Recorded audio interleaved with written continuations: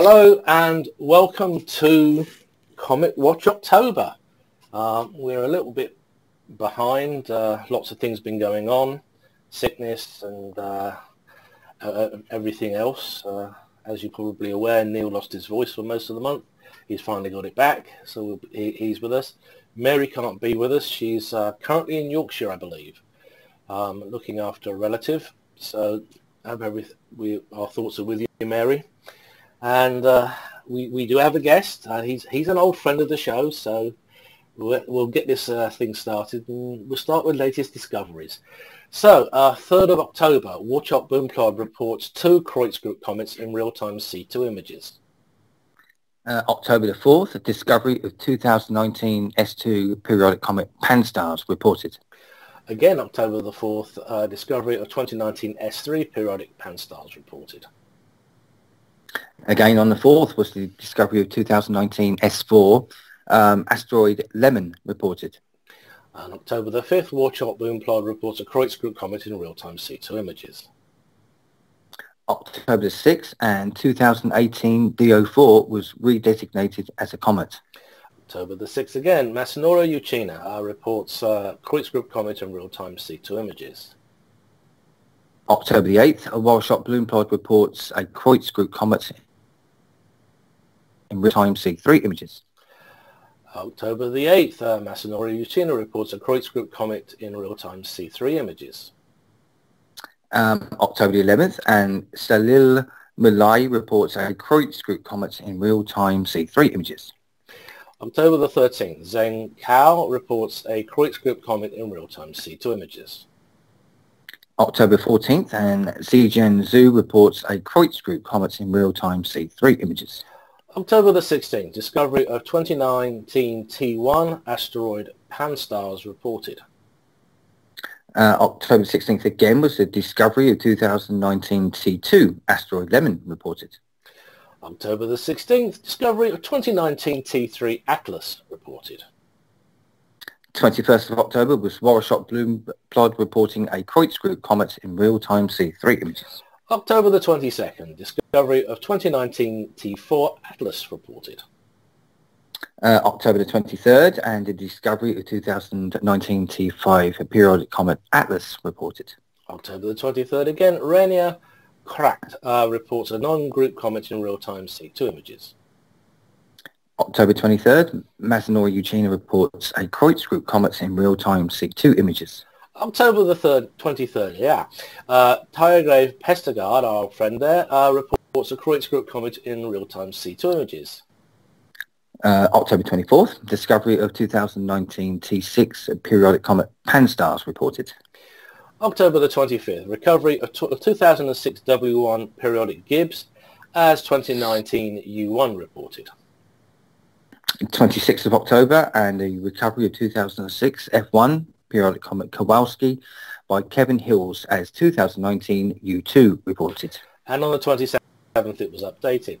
Now, if there are any, if there are no recent updates here, uh, we're on the uh, British Astronomical Associate Comet Section's uh, visual observations page. You can ch- you can check the uh, German Comet Group or Yoshida's page for more information, or the Liga Iberoamericana de Astronomía for observations. I think I got that right. Beautiful. okay, so moving on to comet magnitudes and observable regions on the 1st of October. And we'll start with our old friend Africano 2018 W2, magnitude 9, is fading, 40 degrees north to 65 degrees south, best in the evening, last visually observed 2019 October. Uh, now, the interesting comet, Pan-STARRS 2017 T2, currently magnitude 9.5 and brightening. Observable 85 degrees north to 45 degrees south. Best viewed in the morning and last reported in October 2019.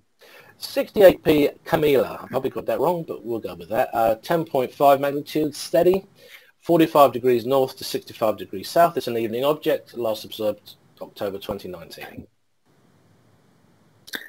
Uh, next is 20, uh, sorry, 260p McNaught, magnitude 11, steady, 8 degrees north to 25 degrees south. Best viewed in the morning, last reported in October 2019. And then a Cassin 2018 N2, 11.5, bright, uh, 80 degrees north to 35 degrees south. It's best all night. Last visually observed uh, 2019 October.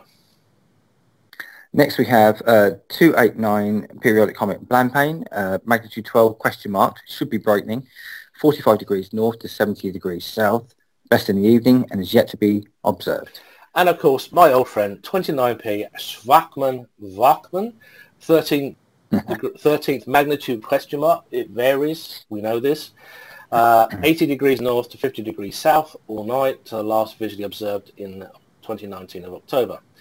Now, um, the partial updates, October 27th magnitudes, the observable region is an approximate indication of the latitude uh, of which the comet may be seen. Under good conditions, obviously, it will be visible outside of this range. Um, the period when visible in the UK, um, if it's visible from the UK, otherwise 40 degrees south or the equator is appropriate. Now, the last visual observation is as received by the comet section here at the BAA. Details are often updated on the basis of observations published elsewhere. And beginners, obviously, you're going to find comets fainter than about 7th magnitude difficult to locate. There are uh, plenty of information on the BAA visual observations page and, and information on positions and finder charts. I really do recommend it. Now, um, as uh, Neil said, 2017 T2 could be within range later in the autumn. Uh, J.J. Gonzalez recovered it at the end of July at a magnitude consistent with the pre-conjunction light curve. September observations show the electronic magnitude is beginning to catch up with the visual magnitude. The likely peak, well, it's a comet. It's, the comets are like cats. They have tails and they do with them as they wish. so peak brightness, still, still something uncertain possibly faint binocular to obvious naked eye visibility. It is visible in the late evening sky and it will remain well placed for observation until October 2020. When I said it's best, it will obviously be a northern hemisphere object. Yes, um, uh, and circumpolar from the UK. The, the light curve um, is shown below.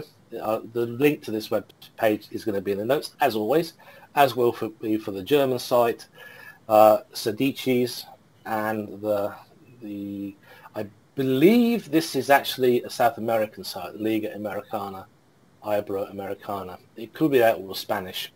Um, all the links will be available, and of course the, the, regular links we give you for comet hunting, Skyhound, etc., and the Sky Live will be there.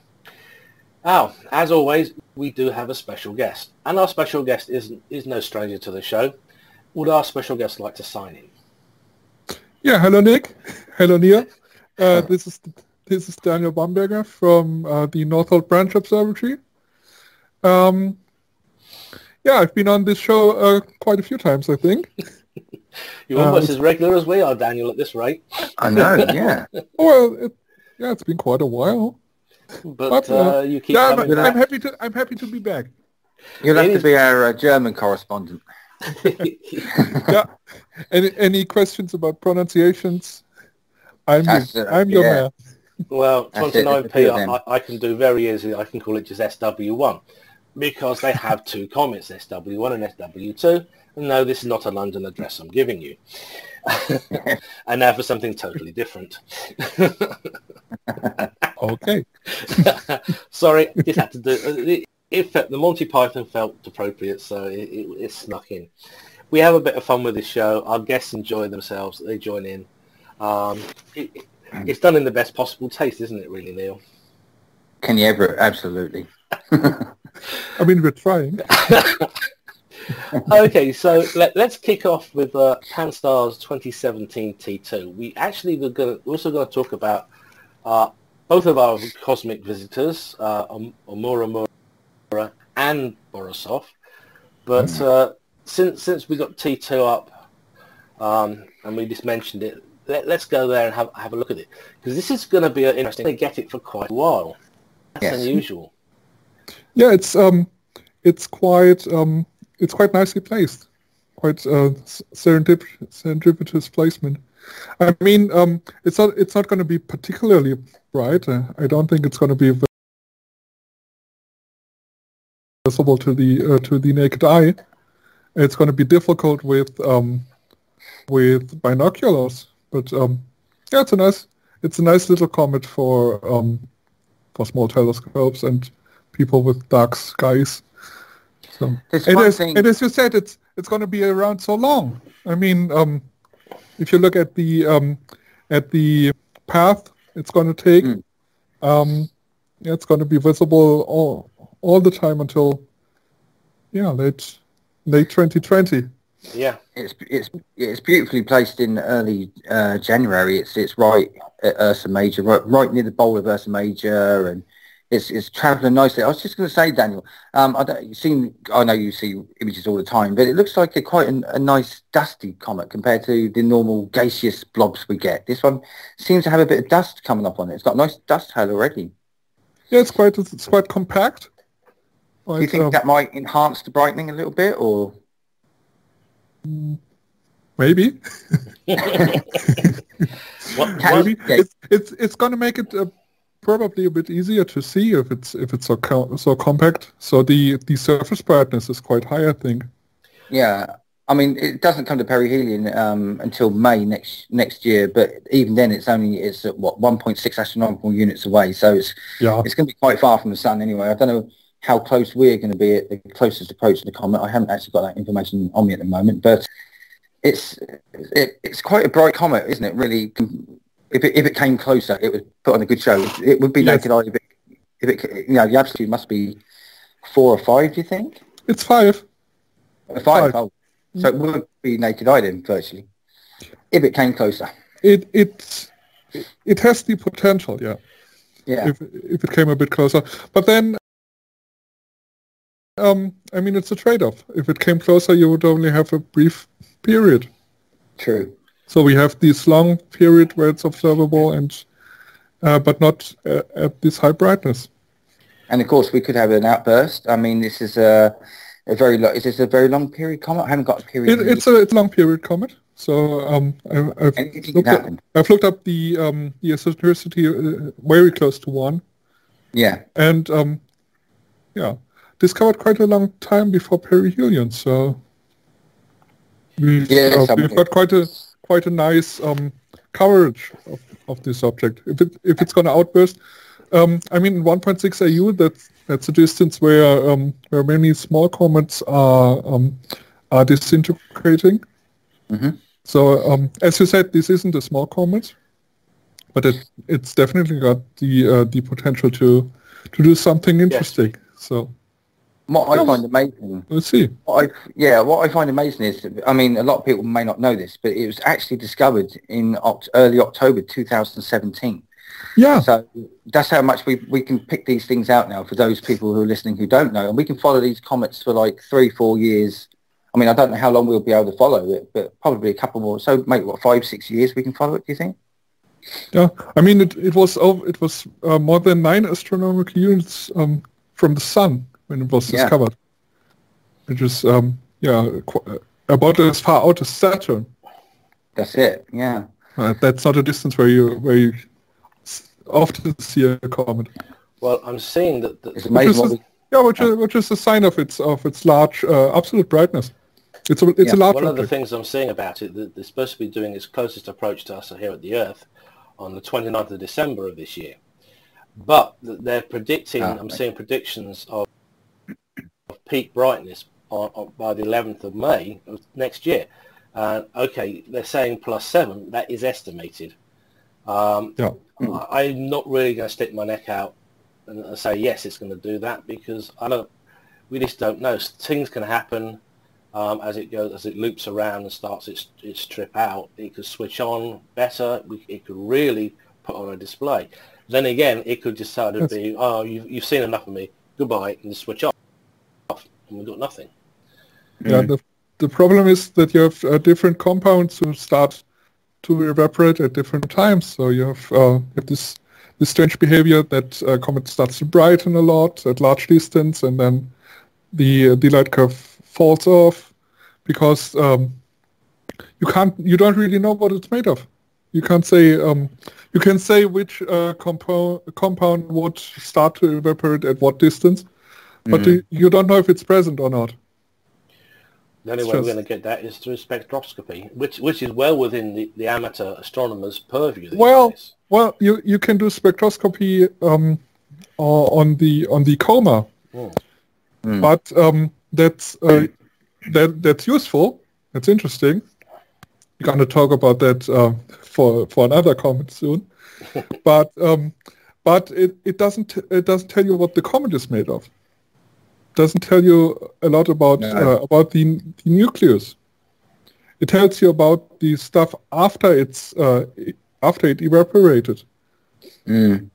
So um, that's interesting, but it it's still a puzzle.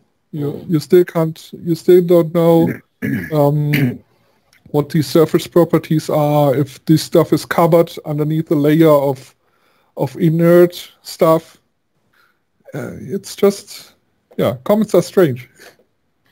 I was just going to ask you about because we were going to talk about a little bit about uh, the Afrho measurements, um, which um, I was just looking at the the Afrho measurement for this comet at 2.24 astronomical units from the sun. It's given a reading of 2,428 centimeters, Okay. I believe. Um, how would you say that was? I mean, for those who don't understand what the Afrho measurement is for for comets. Mm, let me check something. So um, maybe maybe I'll explain what what the what this Yeah, is please. about. Um, so uh, how did you call it? Afrho? Uh, what the, one for uh, T2 was 2428 centimeters. at That, that, that's quite large. That's quite large. Um, so so what's Afrho? um, so the, the, if you if you look at it writ, uh, written down, it's uh, it, it's uh, a bit easier to understand because uh, there's a clue what it's about. It's written uh, A F rho, Yep. uh, where where rho is the is the Greek letter rho. So you've got you've got three things there, and um, you you can take this thing this uh, thing apart. You can take this uh, this rho. That's the that's the distance um, from the from the nucleus. Mhm.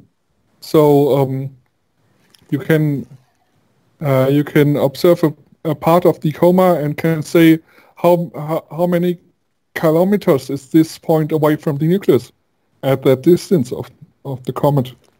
Yeah. So so rho is the is the distance from the Yeah. nucleus. Um, then you can take this A. That's albedo. Mhm. Um, so which is a bit of a of a misnomer. Um, usually albedo um, refers to um, refers to solid objects, where you have um, the surface ref- uh, reflectivity. You say um, how much of the light that goes in is reflected back. Um, it's a bit different for uh, for this uh, for this context because you have the light that's coming in. It's going to be scattered inside the the coma, Yeah. and then you can you can say how much of that light is scattered back to you. It's a bit of a misnomer, but what is um, and you have this this F. That's that's a, a question. You have um, you have uh, the ratio between um,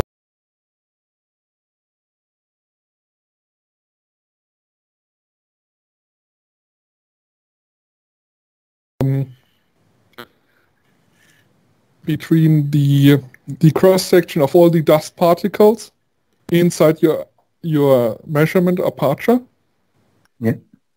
to the to the total uh, area of that aperture. And then Okay. uh, the tha- that's kind of an abstract thing and at first glance. You can you can ask what what that what's the use of this. Uh, the Mm. the interesting thing is um, when you when you calculate this and make a few assumptions about comets, then you uh, you get two things. First, this thing is uh, independent of the of the telescope and of the um, of the specific aperture that is used, or of the specifics of the of the camera. so you can compare between uh, different observers, is a kind of unusual. You Mm. can't. There aren't a lot of things that you that you can easily compare, and um, what it all what it also does is you um, when you assume that the that the density of particles um, when you go out from the nucleus uh, falls off in a nice way, Mm. then this this thing is um, is kind of constant, no matter how far you go- away from from the nucleus.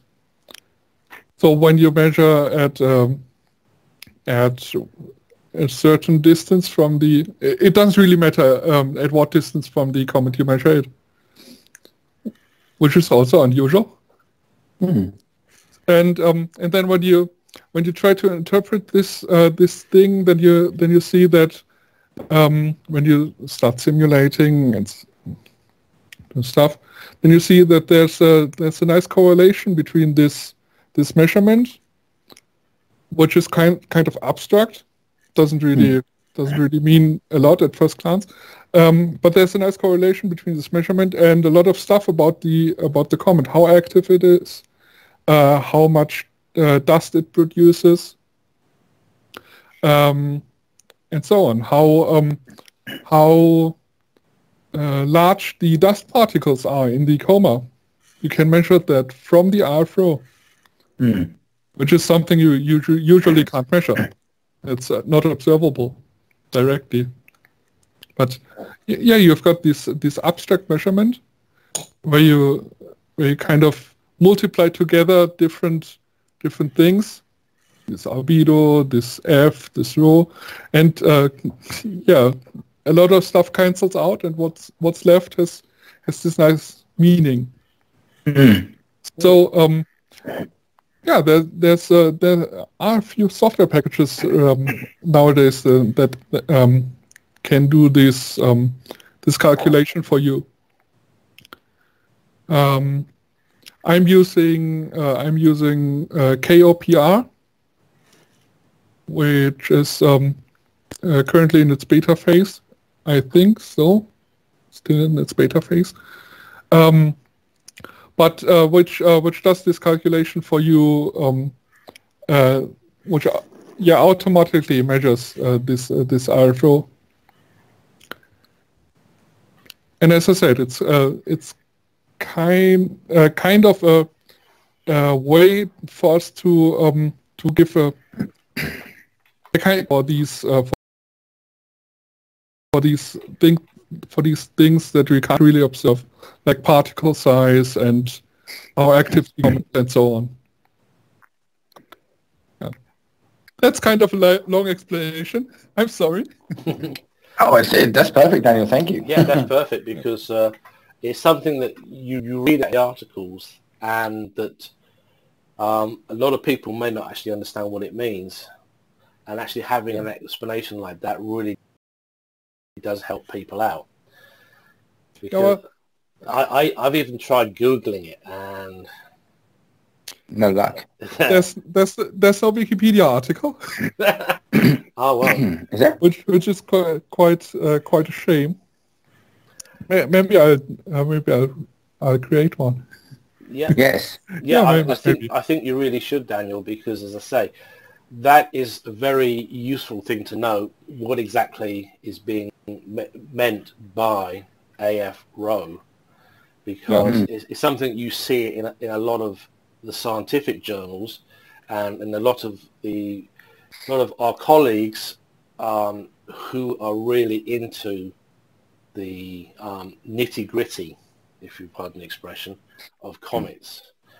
Um, it, in their posts, that they will mention it, and a lot of us, some of us are probably thinking, "Eh, okay, I need to look this up, and you may not find something that is perhaps uh, in depth and informative enough to let to let, let you understand what is being talked about in the article at all, which I think is a Yeah. real shame because it, it would perhaps allow a lot more of the people who would like to um, take part in in-depth scientific investigations at the amateur level. Yes, use, use, um, use a- things as- properly. Yeah, as I said, um, the the really nice thing about this p- uh, parameter is that it doesn't depend on the specifics of the equipment. It doesn't matter if you measure uh, this Afrho with a 20-inch uh, high-end amateur telescope, or if you measure it with a, a five-meter telescope, or with your backyard telescope. It's uh, it's comparable Mm. between different different instruments, which is quite Oh, of a quite of a oh, rare uh, a rare thing to thing to find. I was just looking at um, Comet 29P, um, just for, for those people who, uh, who not know, is notorious for outbirding. And we'll probably talk about that because it did do that recently. Uh, for example, I was just having a quick gander. At, on 5th of October, the Afrho measurement for the Comet 29P was 1965. And uh, what, just five days later, that had shot up to 4042. So we can see that there've been, I was just going to explain to the other people that we see from this sort of measurement that there's been something dramatic happen in the coma of the comet. There's been an outburst. So th- this measurement is also good for seeing if the comet is d- dimming or if it's become overactive or there's been a major outburst or it's just a regular comet doing its thing before it disappears again. So we can get a lot from this, these sort of figures, can't we? Yes. So when um, when you uh, when you measure this uh, this Afrho over time and Mm. see a sudden change from Yes. uh, from one day to the next, then uh, you can tell that uh, that something must have happened at the at the comet. Yeah. Um, one thing uh, I've got to say, if you if you go into these uh, interpretations of um, uh, using it as a proxy for particle size, so the the really um, deep science stuff, Mm. then you must make a few assumptions, like uh, that the coma is um, symmetric, Yes. that that it's um, it's circular, symmetric Yeah. uh, or that um, that the uh, that the density in the coma uh, falls at this nice rate um, that's assumed in the calculation, and that's not true for 29p. No, definitely not. no. So uh, 29p is a strange object. Yeah. Uh, it's it's it's doing these regular outbursts uh, every few days, sometimes with a few weeks apart, but no more. hmm and um, and uh, its coma is quite uh, it's quite uh, asymmetric. Yeah. You you, uh, you often get uh, jets, or you've got um, you've got um, uh, a bright region of the coma and uh, and a region that's like in in the shadow. Um, so the these assumptions don't really work for 29p. You, you still can tell that um, when the outflow is changing from one day to the next, that something must have happened. But um, if you're a scientist, try to try to use this for um, for these other interpretations, then then you've got to be careful because um, you've got to make sure that the assumptions you made uh, are really met, and that's not going to be the case for 29p. I'm Well- sorry. the, the, nice, the nice thing about 29p to me is that it has discrete sources of uh, cryovolcanism. Um, Yeah. um, and the other thing, of course, being a centaur, it, it never really goes that far away in its orbit from us. So it is well within the reach of amateur instruments. Yes. Um, Certainly, I would I would say mostly from about 10 inches up. Uh, if you've got a, a good 10-inch reflector um, or dob and, and above, then you shouldn't have a problem actually capturing this.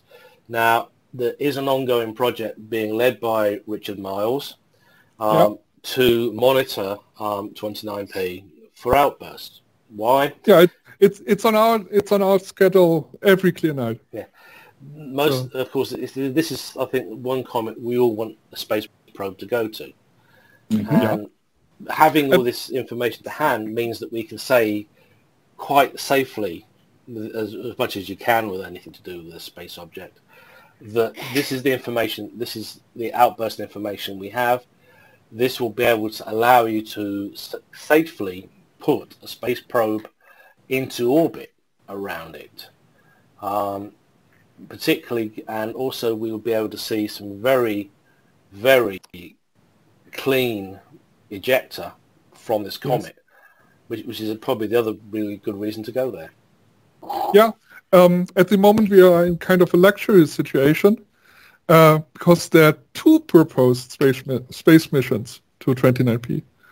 Um, so NASA is doing its uh, its discovery program, which mm. um, so the la- the last um, big mission in this program that people may know is um, New Horizons, mm-hmm.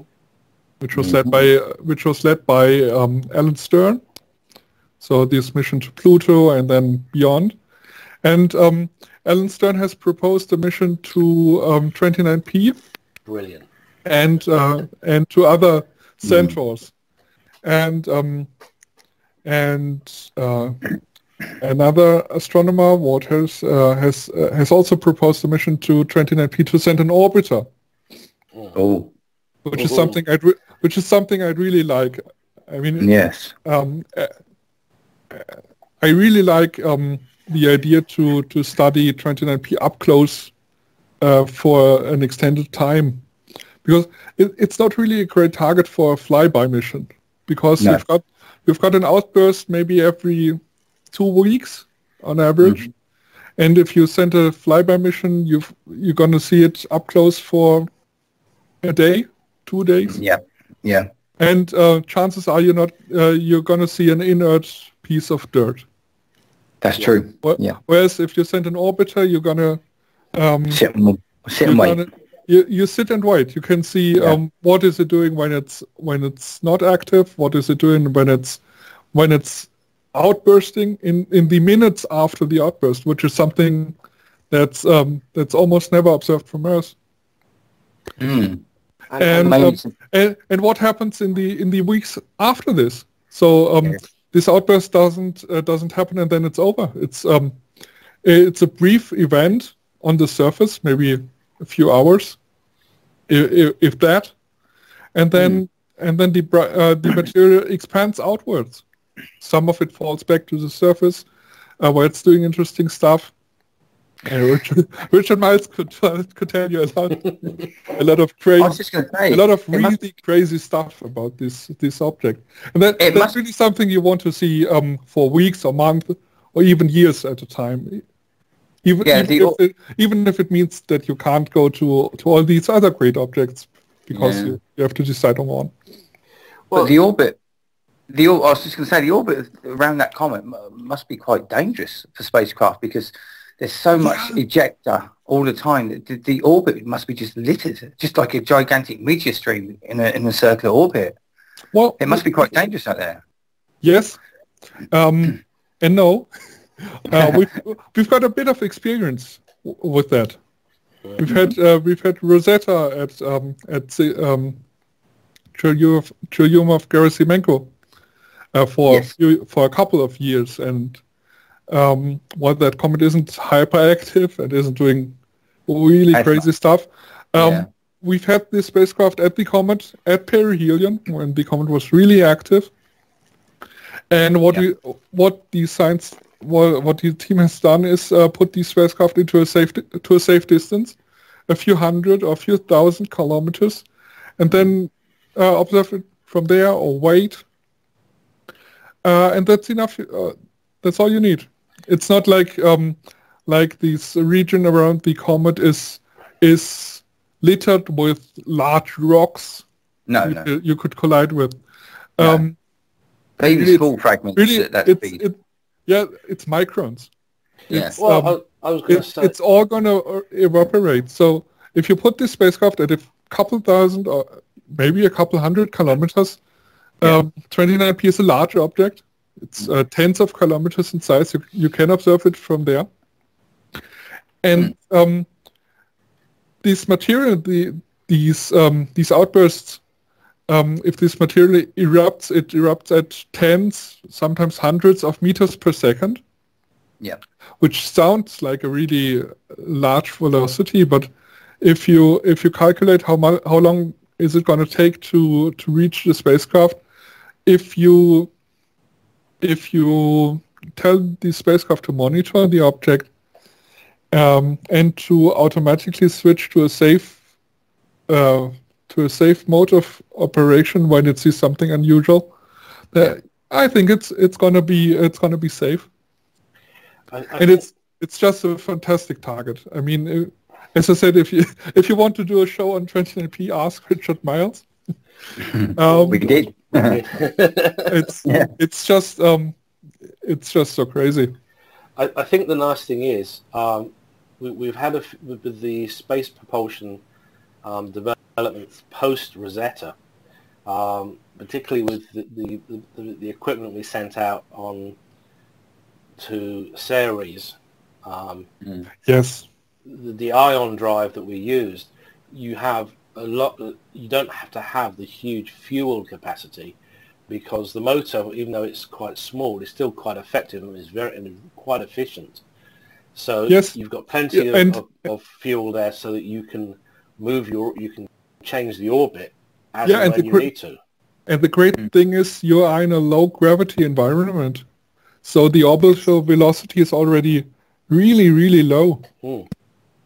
So you don't need to change your velocity a lot to to really affect your orbit by quite a lot. Um, on on the contrary, you have to be careful that you don't uh, that you don't uh, escape to infinity. Yeah. if you Yeah. just if um, if you just do a little a little jump. And um, these uh, these ion drives are, are perfect for for these low gravity environments where you don't need a lot of acceleration, but um, you you really have this uh, this mobility that you can change orbit. You can you can uh, move around and um, and do maneuvers for years and years to come. It's a really great technology. And, and the other good And, thing, uh, of course, though, is that uh, being that it's a Centaur, it's a, a Jupiter family comet, Yes. um, we have something that is relatively close, so we can actually also monitor Jupiter for, for any new cometary impacts as well. We've only, well, we had Shoemaker-Levy 9, then Anthony Wesley and Christopher Go both had their im- own impacts um, detected and confirmed. We know that it Yeah. happens, and really, I think for our community, um, SW, SL, sorry, Shoemaker Levy 9 was the wake up guys, this is what could be happening to your neck of the woods if you really don't pay attention to what's out there. Um, Mm. Yeah, S- SL9 was a game changer, really.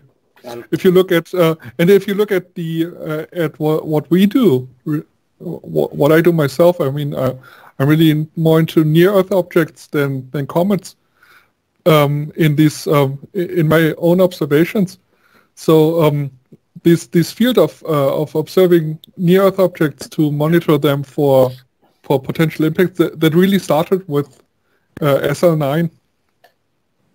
And as as I remember, um, I remember Gene himself said it's answered a lot of questions about some of the more interesting uh, crater chains on the moon.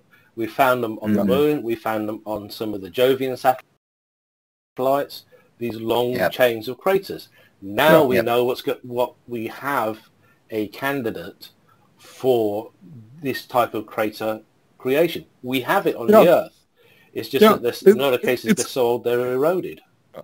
Uh, SL, SL9 was a uh, the that story was uh, was quite ironic because uh, if you if you ask people if you ask today what what Gene Shoemaker is is remembered for, most people will will say it's of course it's SL9, Yes. Uh, and that's that's legit. It's it's the um, a really great discovery, but but Gene Shoemaker was known for his studies of moon craters Yeah, and, Yes. and, and, uh, Earth- since, since, craters. since the 1960s. yeah. So he wa- he was the first to to propose that uh, that asteroids might might hit the Earth, um, or that Mhm. objects might collide with other planets, and that he would be the first to discover such an event, not on Earth but on on another planet. But anyway, that that he would actually go and and find such an such an event happening and then seeing it himself. I I, I find it ironic. It's it's a nice It is. ki- it's a nice piece of, uh, of historic irony. And of course, the, the, the really good thing about it is that it, it really set up international cooperation for Yes. monitoring uh, for things like Neo Shield, Neo Watch, Space Watch. Um, Yeah. it, it, it was like, okay, one country cannot just do this on its own, so it can't just be the responsibility of the United States or Britain or Germany. It has to be a worldwide collaboration because Yes. with the way, the nice thing is we can have uh, the, the task can be handed over to an astronomer who's going into into twilight, they can follow it for their night. Towards the dawn, they they hand it over to the next set of astronomers in the chain Mhm. as as they go into twilight and into astronomical night. So we Yes. now have a situation where something can be followed, it can be tracked, it can be imaged, it can be looked at with radars now, um, Yeah. and we know more about what's. We are beginning to find out more and more about what is actually in Earth's orbit, which kind of makes me think. I think they screwed. I think the IAU screwed up with Pluto because basically they're saying to be a planet you have to clear your orbit. Well, my argument is now, if that's the case with all these near-Earth objects, the Earth hasn't cleared its orbit. Therefore, it is not a planet. I'm just using Um, their definition well, against um, them. I, I, I, I'm gonna be I'm gonna be uh, diplomatic. I'm gonna say the, I'm gonna say the IAU uh, screwed up, Yes. but for uh, but not for the reason you say. Um, so um, uh, the IAU de- definition is is ambiguous yeah. because this this point of clearing up its orbit um, it's not it's not really well defined in the in the definition. You can make it um, you can make it uh, well defined. You can uh, give a criterion, or you can give multiple criteria, uh, all of which uh, give um, more or less the same answer. But um, but the point about clearing its orbit um, is usually I interpret it in the sense that uh, an object has to dominate. So if uh, uh, if you have a planet and you've got another object uh, crossing its orbit, then that other orbit um, must either be completely controlled by the planet, uh, which means that the object must be in some kind of resonance, or it must be um, or it must be unstable. Mhm. So um, if you look at all these uh, all this stuff in in the vicinity of the Earth, all these near Earth objects, uh, none of these uh, orbits are stable for more than a few million years. Mhm. Um, Mm. QED. Because I because either these objects will collide with the Earth, Mhm. which is a major, uh, which is uh, only a, a small fraction of these of these objects, or they will come so close to the Earth that they will uh, will be ejected Yes. because their orbits are changed uh, completely. So none of these objects actually um, actually share their orbit with the Earth because um, because Earth, controls all of them. And if you if you take uh, if you take the other example that uh, Alan Stern likes to point out um, uh, of Jupiter and the uh, the Trojans, the Trojan asteroids, which are um, uh, which really share their orbit with Jupiter. Yes. Jupiter hasn't cleared them uh, in the sense that it hasn't removed them, but it's controlling them. These objects are only in these orbits because of Jupiter. So they are in a in a resonance with Jupiter. The dominating force in this orbit really is Jupiter. So I think this this definition is fine. There's a lot there's a lot pro, uh, there's a lot wrong with the with the process of arriving at this definition. And I agree with um, with uh, Alan Stern when he says that this process has been has been a bit, yeah, Hit and miss. um, Yeah. yeah, unscientific Yeah. Yes.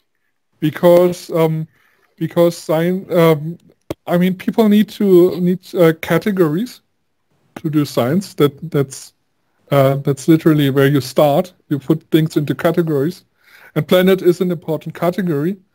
But um, the the process at which you arrive at at categories is by, um, by discourse over years and decades, and not by uh, by a vote.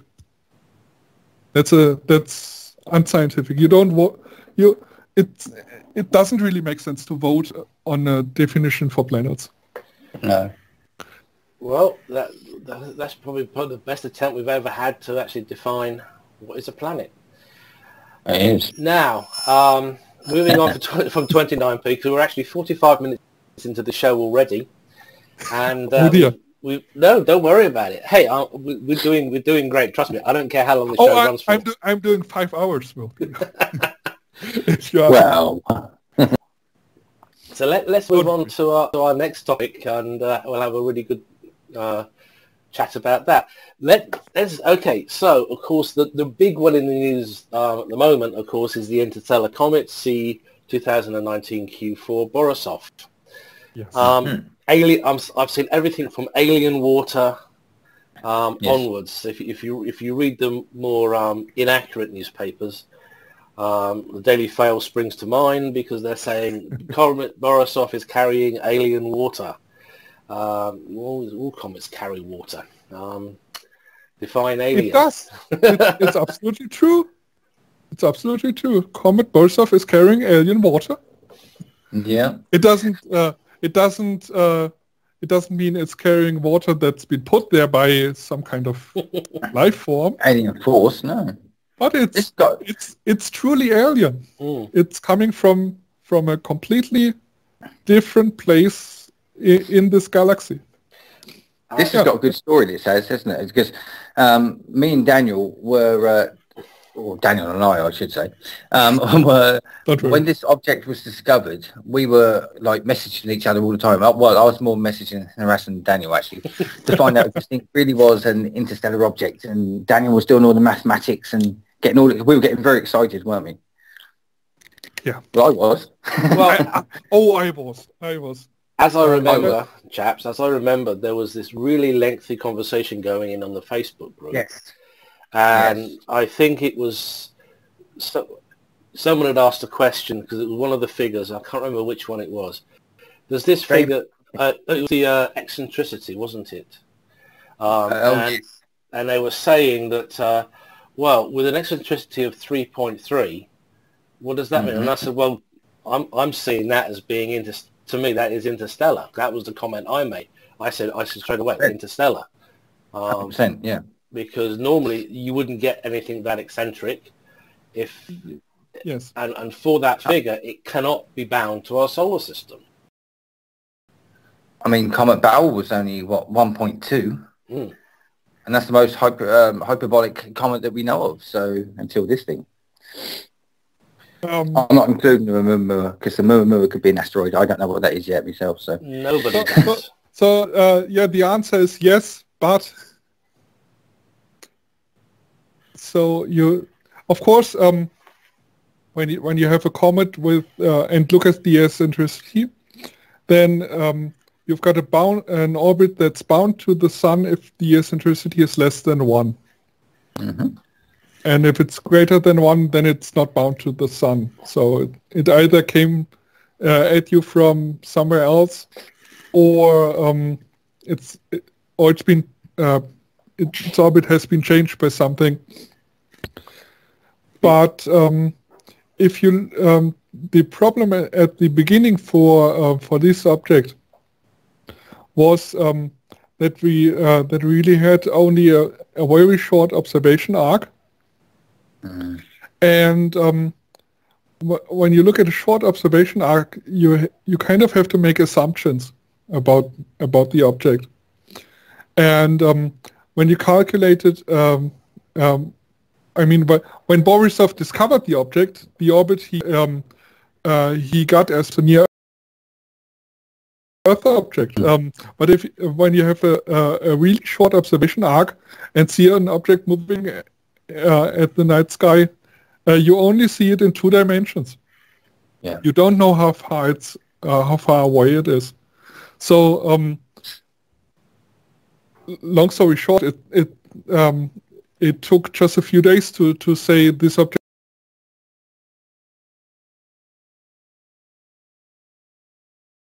is is definitely not a near Earth object, that it's uh, something unusual. But then then people started commenting, okay, the the nominal orbit I, I calculate um, is uh, highly eccentric. Uh, eccentricities of four uh, four have been have been in the room for a while. Yeah. And then uh, people say, yeah, but uh, this object is a comet, and we can't really say uh, comets do strange things. Uh, you know, comets, you know that comets are, are active. They uh, they can change their orbits um, by um, by Outgassing. by outgassing, and Yeah. uh, we do see these changes in in orbits uh, for periodic comets um, quite regularly. Then that's what it makes so diff- it's so difficult to to recover a periodic comet. Yeah. Um, so at the beginning we weren't really sure could could there be um, could these forces be large enough to to mask as, as such an high as such a high eccentricity. But but it, it just took a took a few a few days to say if these forces are really responsible, then this uh, then this object is the is the craziest comet we've, we've ever seen, because these forces were was uh, Way too high. these forces were way too high. Either Yeah. this ob- either this object was um, massless, Mm-hmm. which it isn't, or uh, the or this ob- or this object has a jet engine, which uh, people talking about uh, aliens will say, yeah, it's got a jet engine, of course, yes. but um, yeah. Then we we uh, we observed it further, and, and people started to say, okay, this idea with the with the, the non-gravitational forces uh, that really was a stupid idea. and um, then then you've got you've still got the question: uh, Could it be have been could its orbit have been changed by something? hmm And that's a fair comment. If you look at Comet Bowell, uh, which you mentioned, which Yeah. had this really large eccentricity at some point, um, why did have why did it have a large eccentricity? Uh, because it came close to Jupiter. Mm. Yeah. So you've uh, you've got to say uh, did this did this object come close to to a planet, and you can calculate it back and even at this point when we had maybe two weeks or, or a week of observations, you could tell this thing didn't come anywhere close to any planets. I will just say I actually tweeted Dan Brown um, Yeah. about about um, could it have been an interaction, uh, you know, an Oort cloud comet was an interaction with the planet nine, his hypothetical planet nine, and he said he'd done the calculations and it couldn't have been. Mm-hmm. Yeah, I did the- actually ask him that outright. The problem, the problem at this uh, uh, that's a fair argument. I mean, Yeah. you you That's what I could have you could have an interaction with the planet, and when you calculate that there hasn't been, you still have to ask, well, maybe there's a planet I don't know. Yeah. But the thi- the thing about um, about these perturbations is that you can only change uh, the velocity of the object by the same amount at which this uh, planet is moving. Yes. That's quite um, the um, people uh, um, that, that's something that's that you have to wrap your head around when you when you look at these at, at what's happening. You really uh, when you when you do a perturbation by a planet, you don't change the velocity. All you do is change the uh, the direction at which the object is traveling, and you really can only change the the velocity of the object um, effectively by how much the pl- uh, by how fast the planet is moving. When you look at how fast um, this this interstellar uh, object is moving, you get a figure around uh, 30 kilometers per second, uh, at which it must have arrived at at the solar system. Yeah. And when you look at and when you look at how fast uh, this uh, hypothetical hypothetical planet is moving around the sun, you I get hundreds of meters per second Yeah. Yeah. and that just doesn't add up. No. You can change. You you could have a comment that just um, happens to come close to this hypothetical planet, and that could have its velocity changed by hundreds of meters per second. That can Mhm. happen, but you can't do it by, with 30 kilometers per second. It's just it's not going to happen because the Right, the right. planet isn't moving fast enough. Mhm. Right. What what could happen is that you have a that you have an interstellar uh, an undiscovered planet, an interstellar planet moving through the uh, through the solar system, Mm-hmm. Yeah. Not found, uh, and this comet is uh, and this interstellar planet moving at 30 kilometers per second. Yeah. and coming close to uh, to um, a comet in the solar system and perturbing it, and then by chance by chance having it fly close to the sun where we can see it, and then ask what, what's happening.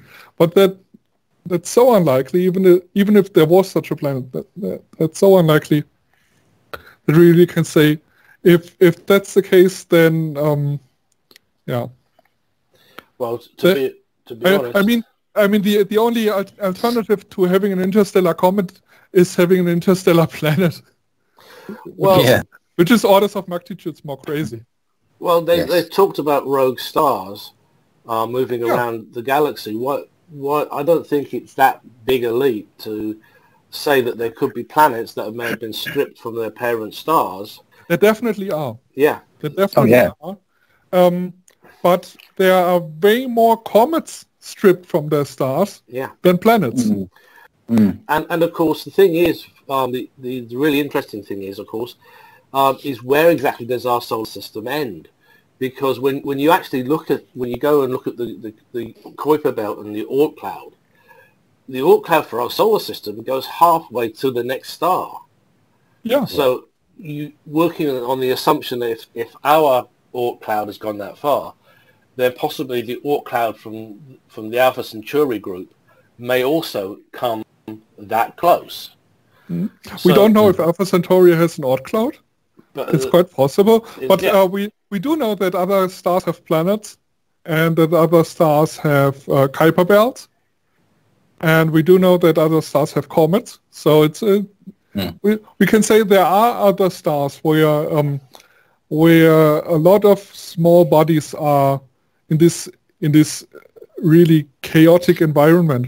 mhm, Oh, exactly. and and we, we are seeing it in our own solar system. Uh, Neil has mentioned Comet Bowell, Mhm. um, Yeah. which had this interaction with uh, with Jupiter, and um, we we do see comets in our own solar, solar system that are that are ejected, that are Yeah. becoming interstellar comets. For another solar system, For another time. Yeah. yeah, exactly. And these objects aren't going to aren't going to go away. They are, they don't vanish.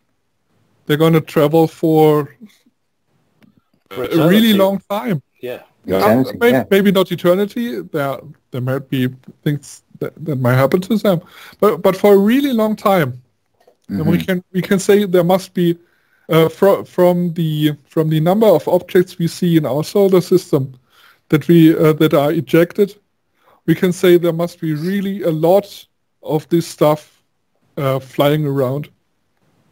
And now we've got uh, we've got a few examples. We've got um, uh, Oumuamua, Yeah. two years ago, which was a really which which was a uh, a sensation because it was the first one, uh, uh, what- which was a really odd object because it was uh, it, it was com- seemingly completely inactive. Mm. Um, and then we said, okay, okay, we've we've got these these telescope surveys now. We've got a lot of people looking with really big telescopes at a lot of the sky all night. Uh, we're bound to find these objects. Mm. And then you can say, oh, okay, okay, we've got one of, of these objects.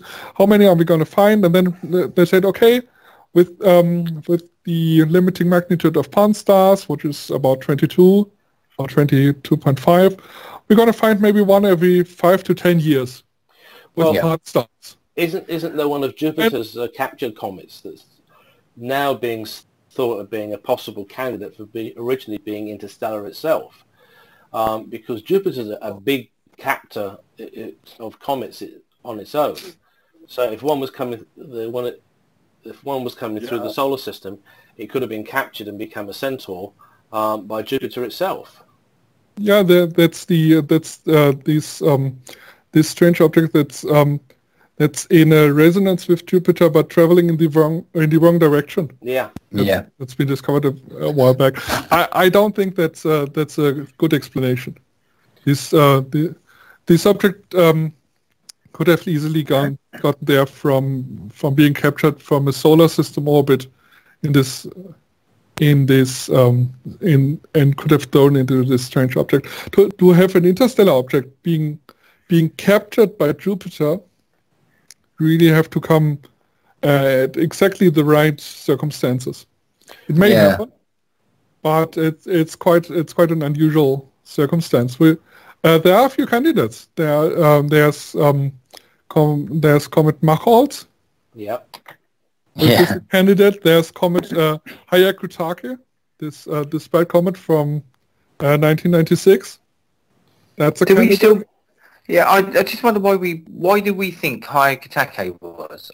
I thought it was Uh, just be, like- because of the of the composition of um, uh, because of the of the is, uh, isotopes in the Yeah. the coma, the um, the water in comet uh, um, in comet Hyakutake had uh, was different from any uh, from any water that we see in the in the solar system. So if you look at water, you've got um, you've got uh, different uh, isotopes. Um, you've got uh, no- normal hydrogen, Mhm. and you've got uh, deuterium. yeah, So also hydrogen, but with a slightly different, um, uh, slightly different uh, nucleus. Mm. yeah, Nucleus, and you can co- look at the ratio of these um, of these two uh, in in the water in this comet. And for uh, for comet Hyakutake, that's really uh, different from anything we see in any other object, and that made people to uh, to believe that it formed in a in in a really um, strange environment. Maybe maybe in a strange environment around the sun, yeah. or in a, or in an environment around another star. We we don't know. Could be uh, there could be a simpler explanation, and um, the the evidence for Hyakutake to be uh, interstellar isn't really isn't that strong, but it's it's a possibility. Now, go, going back to Oumuamua for a second.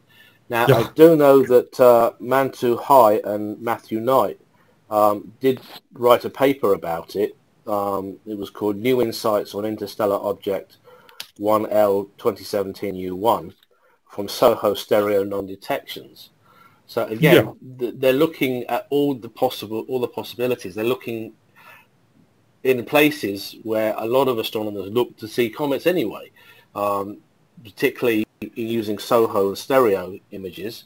Uh, Yeah. as, just going back to the beginning of the show, when we were reading out the discoveries, there were so many comets detected in these images that these two guys very sensibly went back to see if Oumuamua could actually be seen in either SOHO or stereo. Now, Yeah. what I, I, I get the feeling that they didn't really see it there, but that gave it, them a lot more information about the object itself. Yeah, the the uh, the thing about Oumuamua was that we uh, that uh, we only found it after it had passed the Earth, Yeah. and before it passed the Earth, it was really close to the to the Sun, uh, both in both in our sky and and physically. It, it, it really a, a small perihelion about the distance of uh, of Mercury, Mm. Mm. and so um, it was completely unobservable from Earth at the time. uh, But it was in the in the field of view of these uh, solar observatories.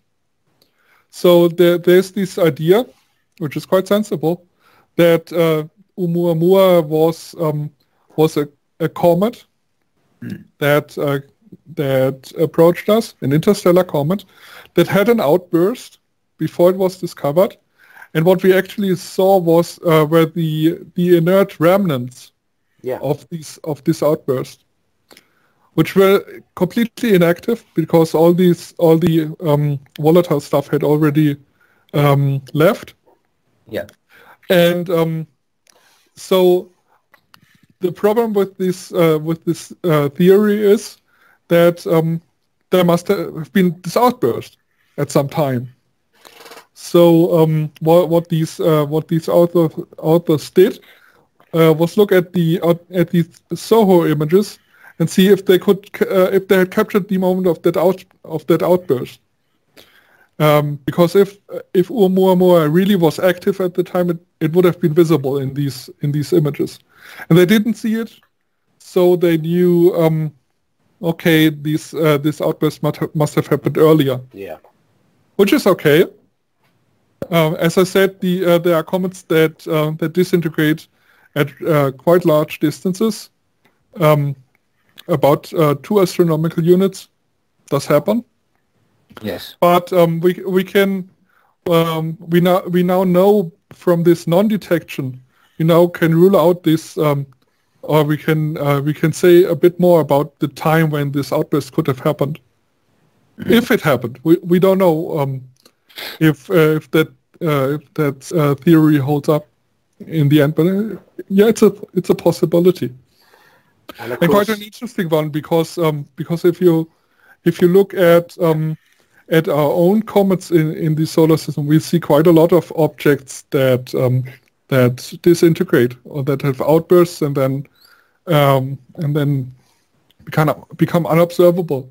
We had uh, we had Comet Ison mm-hmm. a few years ago, which, which, which went past the sun, and then th- there was just this this smudge that yep. came out. Yeah, and um, I mean, people were were disappointed uh, but um, there were there are also people who they who say, okay, what what's about this smudge? What what what is it? Is it is it just a cloud of dust? Is there uh, is there nothing left, or or is there um, a remnant of the of the object that's uh, invisible because it's no longer active? Mm. And that's the theory that that may have uh, that that's may that may have happened to to this subject. But the problem is uh, we don't really understand uh, these processes for solar system comets because we we rarely see these these remnants. Uh, people just uh, can't observe these these comets after they have they have um, disintegrated. So we don't really understand the processes for our own comets, and uh, then trying to extrapolate to, to an interstellar object is is uh, kind of a long shot. I, I think mm. the hmm. interesting thing is we, have got the ESA ICE mission coming up, the Comet yes. Interceptor program. Um, quite, quite that, exciting. Uh, yes, it is because it means any future interstellar comets may actually be into, may may be open to intercept. They may be open to a lot better scientific investigation Mm-hmm. And of course, yeah. once the space probe has matched um, distance, match velocity with it, we will get probably get a better feel um, for some of the orbital elements as well, because we'll actually be able to read them straight off the off the, the, the probe that's doing the intercept, uh, as well, well as um, getting some hard science on what, what that, what's actually in this comet. Yeah. Um, so, um, so the the idea of this mission is that you that you place this this spacecraft in in an orbit ar- around the Earth, in a parking orbit, mm. and then wait. Yeah. And see if you can discover an interesting target, and then uh, send this object on an on an intercept course. You're not going to get uh, into orbit around this object. It's just no. flying past. Um, there there are people who, um, who um, I've been asked if um, um, if this uh, if this mission had been in orbit in orbit around the Earth at the time when we found uh, Comet Borisov, then could have uh, could we have sent it to uh, to this object? Would, would it have, would it have been a, a suitable target? And uh, the answer is no, sadly uh, simply because Comet Borisov's perihelion is too far out. Mm. Yes. So when it comes to perihelion, it, it's at two astronomical units from the sun, and this uh, this mission um, can't go this far out. So, um, but but really, really, the idea of this mission isn't uh, to uh, visit an interstellar comet. It's to visit an Oort cloud comet. Yeah. Yes. Because Um, we, we have seen uh, we have seen quite a few comets over over the past uh, 20, 30 years from spacecraft, but n- none of them were uh, were uh, long period or uh, or Oort cloud comets. They were all periodic comets, and we know that uh, that these Oort cloud comets, which may only be on their on their first and only visit to the sun, are are quite different in in their behavior and in their in their makeup from um, from the other comets we have seen, but but we have no idea what they are like. We've never seen any any of them up close. When when you talk about a comet like uh, 2017 uh, T2, which we had at the start, we, we have no idea what it's like. That, that's what make it, makes it so difficult to uh, to predict uh, how it's going to behave, because we don't know what these objects are about. So the idea is uh, really to to uh, put these spacecraft in, in this parking orbit, wait for an cloud comet to be discovered, and then send it to this. And And uh, and the the the thing that's interesting for interstellar comets is, if you look, what are these cloud comets? Uh, what what are these like? The, these objects have spent uh, the last four billion years, light years away from the sun. That's an interstellar comet. That's the same. These these objects have been in in the same environment for billions of years as these uh, as these objects we're so interested about, these interstellar comets. The the environment is no different. So No. when we visit an Oort comet, wh- what we really see, uh, are going to see is an object that's been in interstellar space for billions of years, and um, that's really um, almost the same thing as visiting an interstellar comet. I mean, um, you can um, you can hope that um, you that when um, when you put this mission out there, uh, you're going to have two or three years um, to find a target. You can hope that there's this, uh, that's a serendipitous uh, discovery of an interstellar comet that you can visit. Uh, that's jackpot.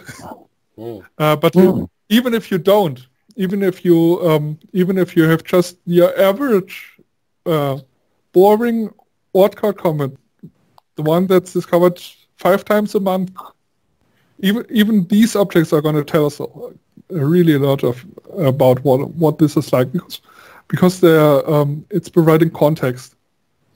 And, and of course, the really nice thing for us is um, the ones that do come in give us perhaps a possible insight into what the early solar system is like. A lot of the, the Yes. comets we know, they've been around the block a few times. Um, Yes, that that's frustrating. We can we can visit asteroids uh, in the in the asteroid belt, and these objects have been um, they're nothing like they were when when they first formed. These objects are uh, have been shattered. Uh, uh, they're colliding with each other all the time. We um, we we have no idea what these objects were like when they formed. Um, we've got a mission like uh, like New Horizons to uh, to a Kuiper Belt object, uh, Ultima Thule, uh, which is quite like it was when it first formed. That's the that's the interesting part about this mission. But it, it would really be nice to uh, to um, to see an object that's that has formed close to the sun. May, um, maybe in the in the um, in the inner solar system uh, where, where the Earth is, that has formed uh, in this in this area, um, and see it how it was uh, four billion years ago. And that's uh, that's only the only possible way to do that is to is to visit an Oort cloud comet that has been ejected from this region uh, of the solar system in the in the very early history of uh, formation, and then is on its first visit um, now. I, I, That's the I- only way to study this uh, to study this this period of time. I- I- That's the stuff the Earth was made of. Exactly. I, I do know. I do remember that uh, on the recent Sky at Night, which was a, a question and answer session, really. Um, Okay. one, one of the questions that came up um, was about why the planets are where they were, and uh, they it was interesting to see how they, they talked about the, the gas giants being ejected out into the outer Yes. solar system and the rockier, more what we call the terrestrial style planets being pushed into the inner system. Um, So if that's happening with, with the, the gas giants, any any of the material, any of the cometary material that's still hanging around the inner solar system is going to get shoved out there with it. Uh, and of course, it, it is giving us even more of an opportunity now because because it's been pushed out into the, the more into the, the, the frigid depths of the solar system, uh, and the, where, the, where the sun is in most cases is the pale dot, really. Yeah, it's a, um, you you already said it's halfway to to the next uh, star. Yeah, Um, if you look at what the next star looks like from Earth, that's what the sun looks like from these from Yeah. these objects. so It's the- just a star. it, yeah, it, Yeah. The, the sun can't affect them. It can't uh, any of the, the, the, the stuff that's in the inner solar system can't contaminate. Um, There are no collisions. There's no collisions, right? And it, it, it gives us a perhaps more of a it's, it's I suppose it's kind of being able to go into the deep freeze, pull out a sample and say this is pristine solar system material. This Yeah. is what our solar system looked like initially, but Yeah. because That, that's what that's what New Horizons did with yeah, Ultima Thule for for one region of the solar system, for the one region where we can do it. mm, It would be great to do it for the inner solar system. it, it would be really great. And of course, with ice and everything else, going, being able to visit other comets. The only comets we've, we, I think you can count them on your hand, the number of comets we've actually visited. Uh, Yes. Halley was visited by a whole armada from Russia, from Japan, from ESA, from NASA. Um, Grigg-Skjellerup, um, Giotto moved on from Halley's comet to go to Grigg-Skjellerup. Um, I remember that because I was uh, I was actually working at Marconi and we were actually doing some of the flight instruments for Giotto. So you can imagine that we're, we're all we're we're all staying late at work because we want to see the the results as they came in. Um, so that was great. It went. The main camera got smacked well and truly, but that was not a problem because Oh. the, the rest of the instruments still worked. They picked another target. It went there. It did its job. Um, it was a Giotto was a tough little satellite, and it allowed us to move on. It allowed us to build the Rosetta mission. Um, Yes. I, I remember the game NASA put out of trying to land Philae on the comet. Yeah. that that was hilarious. You- You really had to think about speed and angles. Um, otherwise, you'd have bounced off and, and were lost.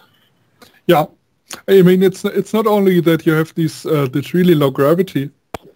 Uh, it's also that the object is is very far from uh, from non-spherical. Mm. So this this gravity field is just crazy. And to land an object there and um, eff- effectively effectively have a successful landing. I mean, uh, there were a few things that that, uh, that went wrong. Uh, the harpoons didn't fire, and uh, Yeah. the object landed in a different place. But it, it operated on the surface Yeah. for a couple of hours, uh, Uh, which is uh, just wonderful. and- But um, of course, um, um, we have visited uh, quite a handful of pla- of comets. We've had um, we've had uh, Comet Tempel. We've we've uh, had this uh, this mission sh- that uh, that's been shooting at a comet to see what's coming off. But all, all these comets were were uh, Jupiter anomaly comets. mm, So we, Yes. We, really uh, we get into this this situation that we believe we know a lot about comets, but we really get uh, uh, we really get some serious observation bias because we know a lot about one kind of comets yeah. and nothing about the rest. And Right. any attempt to to apply this knowledge or um, to objects with a very different history is uh, is really dangerous. I, I, I remember that there were about three people who were actually writing a book, writing books about comets at the time of the Rosetta mission. Um, and then, then, suddenly the results were coming in, and I understand three books were just, were just stopped because the information that Rosetta was beginning to tell it was just completely outdated. Yeah, it was. Yeah, and it was like, why am I bothering? Uh, everything we're getting from Which is Rosetta has now completely blown me blown me out the water. There's no point me writing the book. Yeah. Yeah, scientific knowledge uh, really has uh, has a half life. Mm. So yeah, But then, I was just going to say, the thing that we've been, we have learned so far about this comet Borisov is that it is um, carbon depleted, which shows uh, it is very much like a Jupiter family comet uh, within our own solar system. So Yeah. I was Yeah, just but- wondering, yeah, well, I was just wondering if Borisov was in its own solar system at one time a equivalent of a Jupiter family comet, got too close to its equivalent of Jupiter, was ejected like Comet Bowell is from our solar system, and then ended up coming through our solar system millions of years, billions of years later, however long it's taken to get here. yeah. um, yeah. it's sorry. Yeah, I'm finished? just wondering. Yeah, no, yeah, I just wondered if that's a possibility. You know. Yes, it is. Um, the the strange thing about this uh, this interstellar um, comet, I mean, we've had Oumuamua, the first interstellar object, which was really strange. Yeah. Which looked like nothing we'd ever seen, um, and we're not quite sure why. It may have always looked like this. It may have uh, be had this strange history with uh, being the the remnant of an, of an outburst. Um, but anyway, um, there was this idea that all interstellar objects look like Oumuamua. Yeah. And now and now we're seeing uh, quite the opposite. We're seeing an we're seeing an object where if you if you take um, if you looked at this object and, ig- and ignored its orbit, Exactly. Yeah, it, it would be just another comet. it would. It, there's nothing about this about this object that looks any di- that, that would be out of the ordinary if it if it were just an just the average new comet. Exactly. Yeah. Um, which uh, which sounds a bit uh, disappointing, maybe. uh, we're always excited to hear sensational stories, but really it's uh, it's quite nice because it means whatever we learn about our solar system, Mm. uh, a lot, lot of this applies to stuff elsewhere. Because if exactly. if this yeah. if this comet is uh, virtually um, virtually uh, virtually undistinguishable from from our own, then this means the way it formed may be quite Exactly, similar to our own, which isn't uh, which is um, which isn't something you would you would be able to conclude. Uh, and if I mean, this uh, these um, these observations that it's uh, carbon depleted yeah, that um, it's um, we know comets that are carbon depleted. It's unusual for um, yeah, it, it's unusual in in the sense that uh, most comets aren't. Um, Yeah. The majority of carbon depleted comets are Jupiter family comets. yeah, exactly. Um, yeah. The the best example is 67P, the the Rosetta target. That's a carbon depleted comet. Yeah.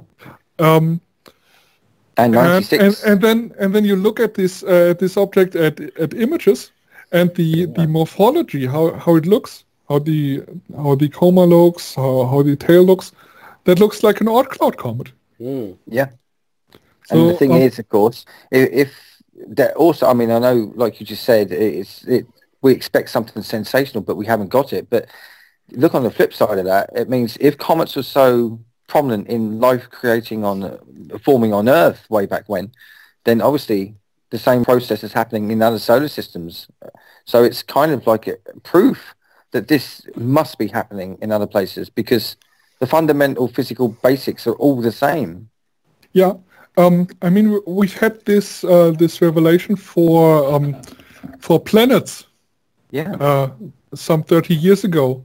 Um, there was always the the idea that other solar systems have uh, probably have planets, Mhm. quite like our own. All solar systems look like look like our own, maybe with uh, with small planets on the inside, large planets on the outside, everything Yeah. in, in circular orbits. All nice. Um, and then we found other solar systems, and we found some. Uh, the first, the first planet we found was completely weird. Yes. So, uh, uh, was this this hot Jupiter-like uh, planet really close to its uh, to its star? I mean, uh, that's the first planet ar- around the solar uh, around the star like the sun. Mhm. Um, 51 Pegasi. yes. Um, and and so people uh, people wondered, um, wh- why don't we have such a planet? that's Yes. that's the first How did it get there? It kind of formed there. Um, a, Yeah. a planet like this cannot form close to its star. It must have formed far outside. Mhm. Um, so the, um, it must have uh, moved there. Yeah. Migration. Yeah. and then uh, and so there um and then we we started with uh, with Kepler and now TESS um Mhm. and we and this this got um this got a bit more more familiar because we we um we see a lot of planetary systems that are completely alien but Yeah. we, we we start to um we start to get the feeling that that, that it makes sense uh, we see uh, we see structures we see things that Yeah. that repeat um, we know that our solar system is just weird Mhm. Yeah. we, we haven't found another one that looks quite like it. Um, but we have found solar systems uh, or star, uh, planetary systems with uh, rocky planets, with planets in uh, in the area where you can get liquid water. Yeah. We, we found um, we found uh, uh, stars with their own um, asteroid belts. Yes. Yeah. Yeah, and um, and so it, it's kind of a bit uh, taking back from that alienating feeling we had when we found the the first one. And of course, Well, we're trying to fit in as well, aren't we? Because most Yeah. systems we found have like super Earths. So now Yeah. we're trying to find our super Earth. Was it kicked out? Is it planet nine? And Yeah. so on. We're trying to we're but- trying to blend in. Yeah, uh, super Earth. yeah. So that that's the that's the most common type of planet i- in the we haven't u- got in one. the in the Milky Way. Um, Yeah. a planet uh, kind of intermediate between the Earth and and Uranus, Yeah. and, and we don't have one. And we're wondering why. And- exactly. and we yeah. wonder why.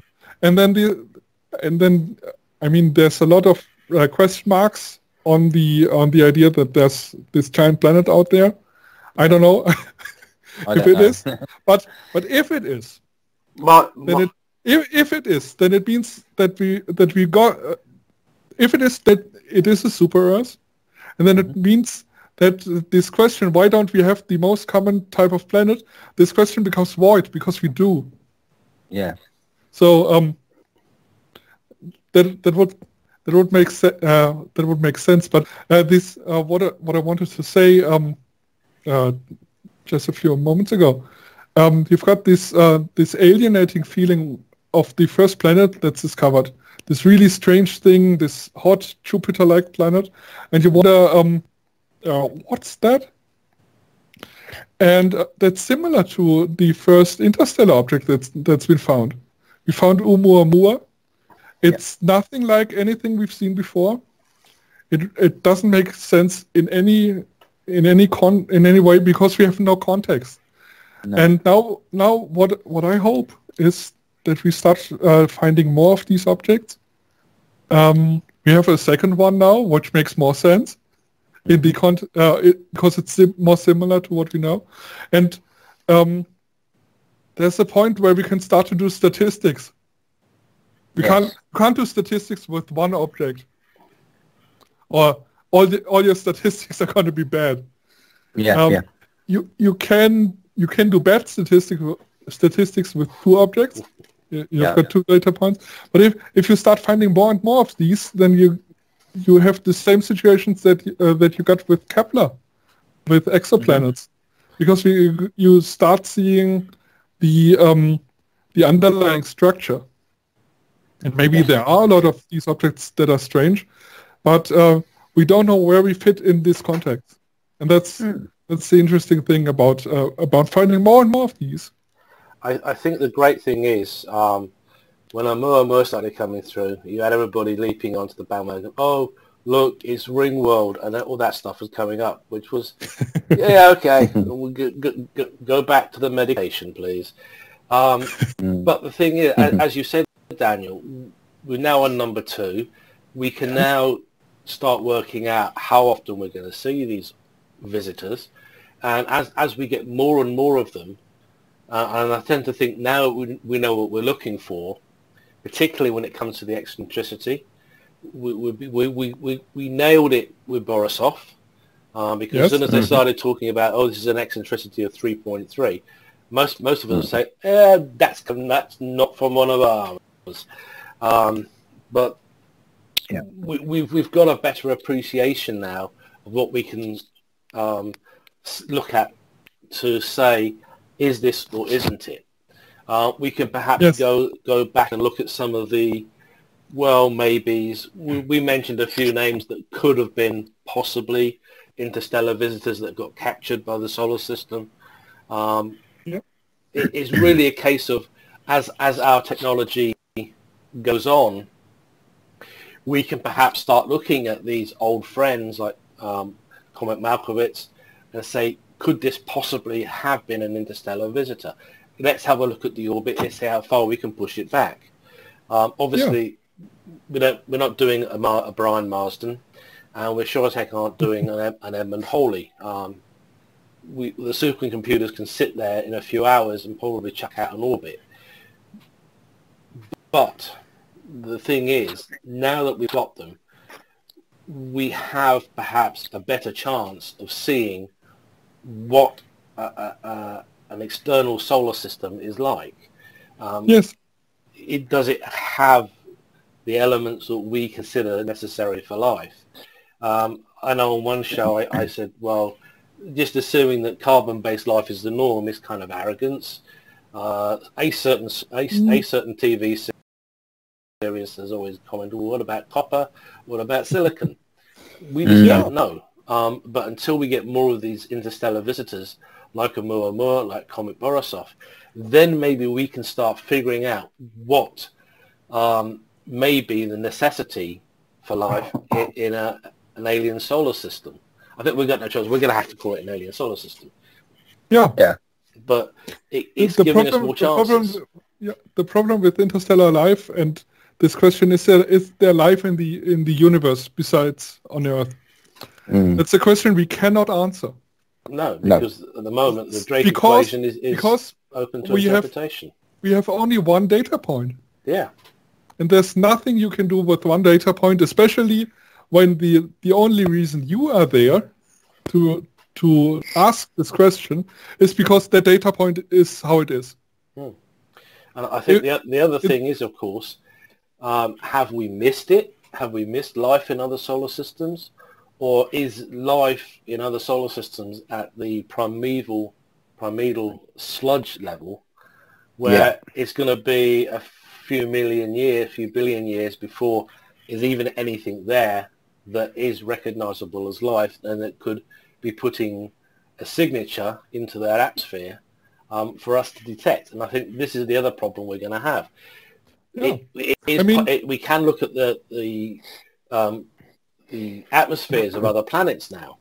We can yeah. make guesses. We can say, well, that's definitely a water signature. So maybe, maybe there is possibility of life there because there's water.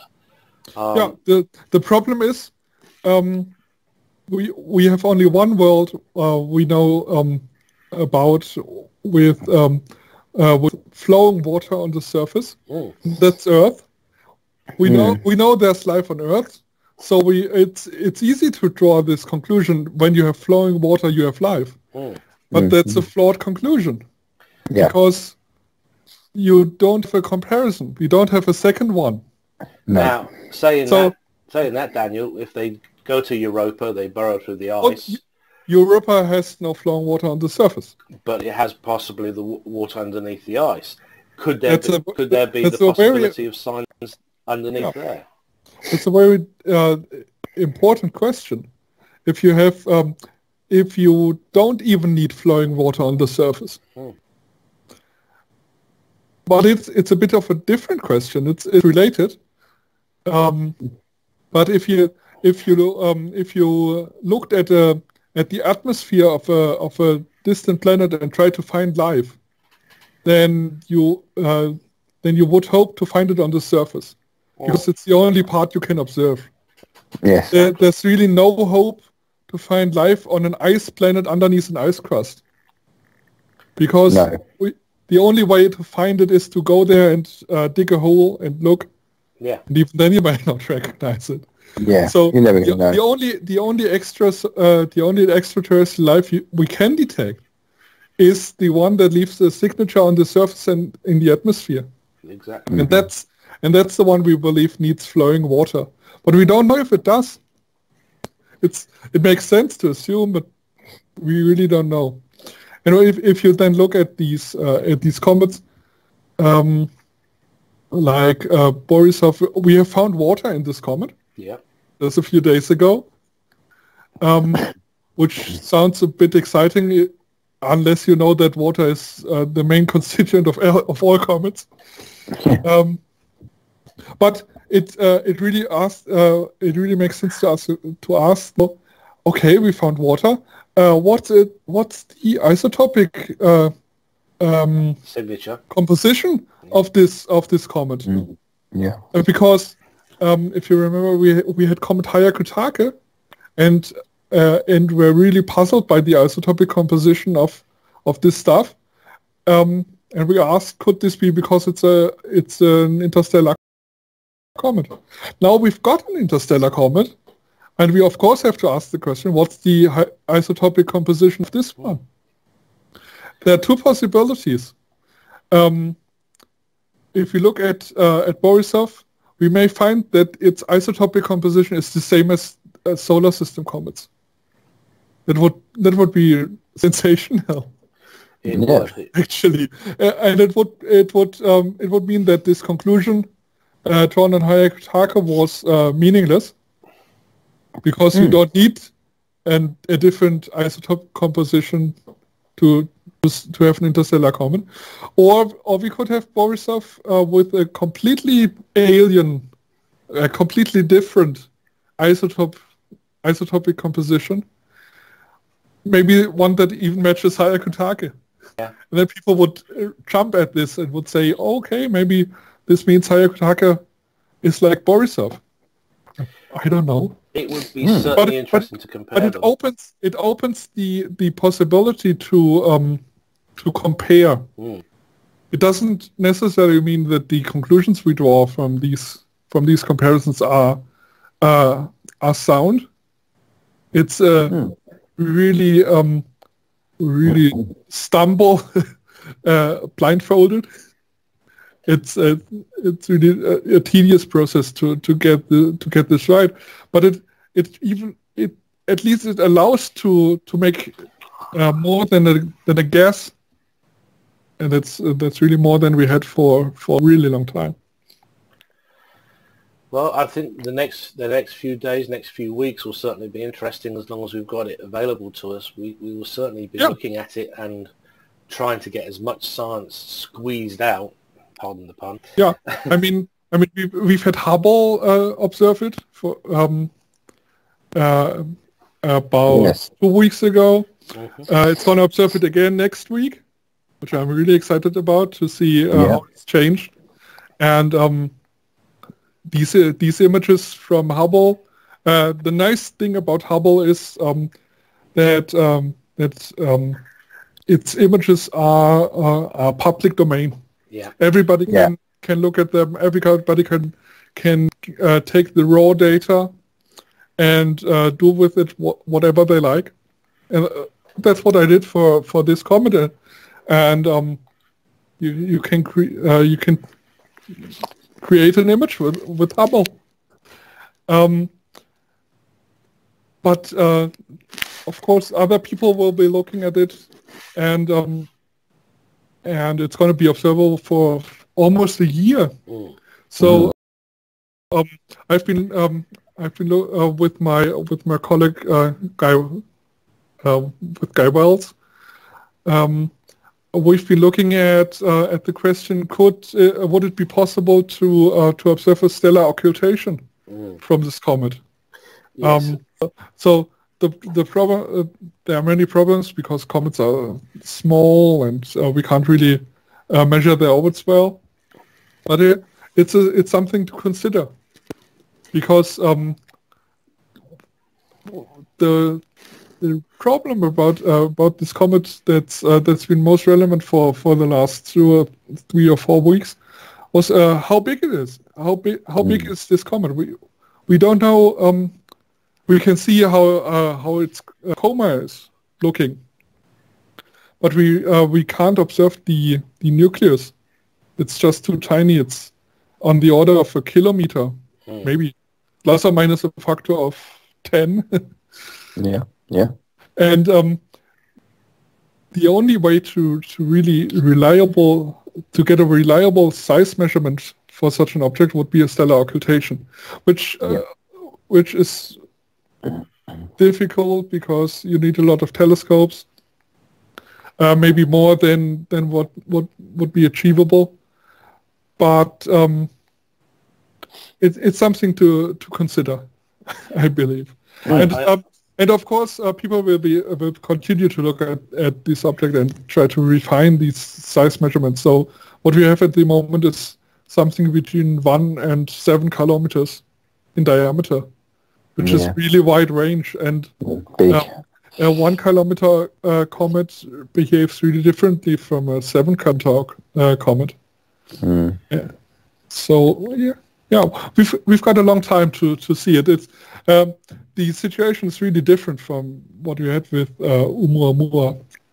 When when Oumuamua was found, it had already uh, already passed Earth. It was Yeah. fading very quickly. It was just observable uh, for a week with uh, small telescopes, and then two or three weeks longer for uh, for really large uh, telescopes. And we, really had to had to try to squeeze all the information from really very very little information from very little data. And for for Borisov, it, it's a completely different situation because we have a year to collect data, and this object is is so bright. Hmm. It's, Yeah. it's really really um, um, a luxury uh, situation.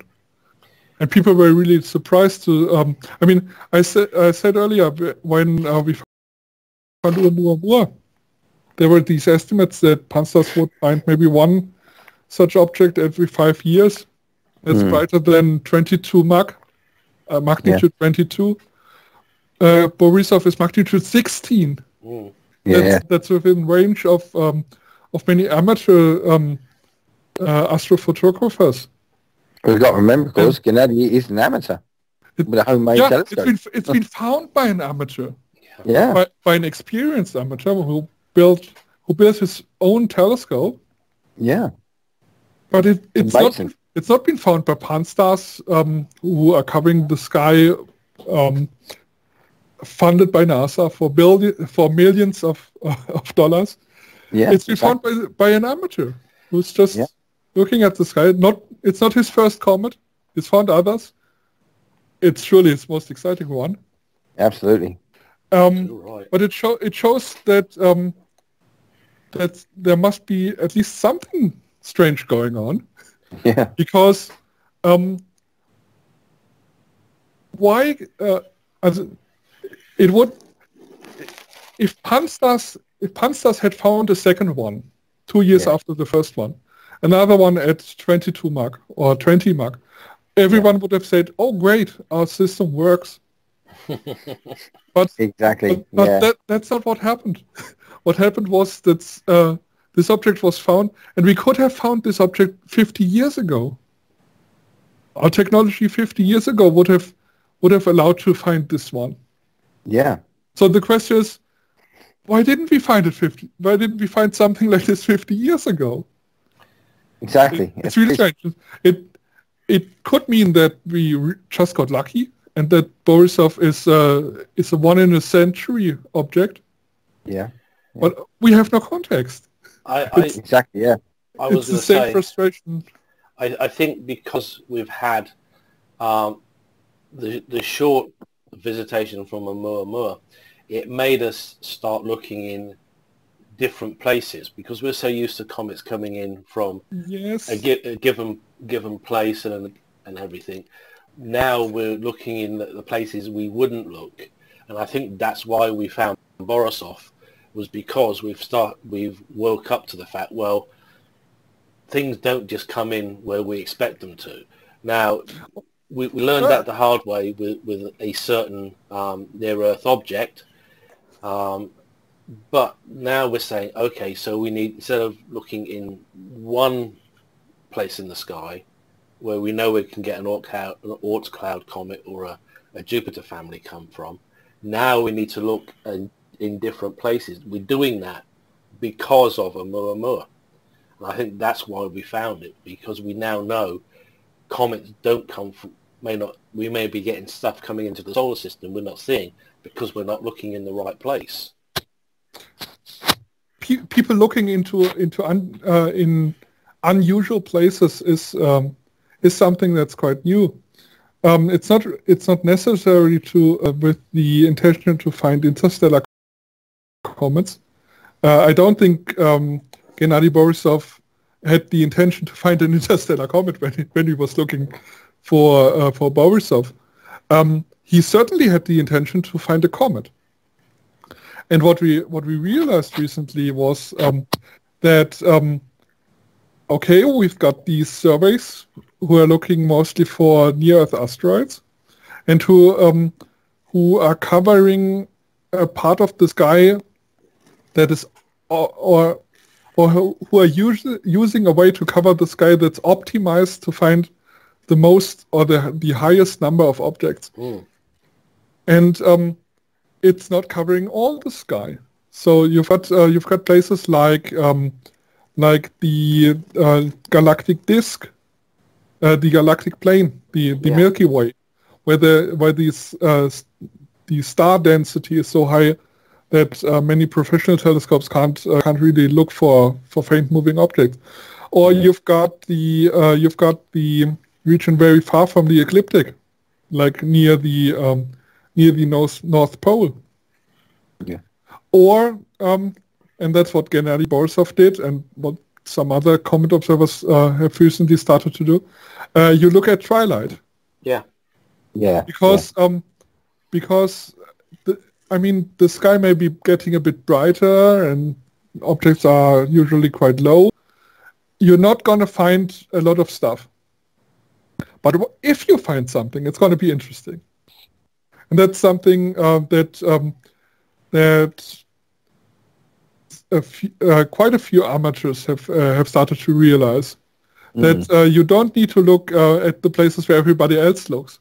You need to look there where nobody is looking. Well, yeah, uh, Gustavo um, in South America. That was how that's how he op- that's how he operates. He's looking in the gaps that the surveys can't go. Now, Yes. And Terry Lovejoy. uh, yeah, Terry Lovejoy too. because Yes. in, on the southern um, hemisphere they don't have um, anything now that is a, ser- a, a serious survey. It is literally a open field for amateur astronomers um, to- Exactly. to, yeah. to find things, get their name slapped on them.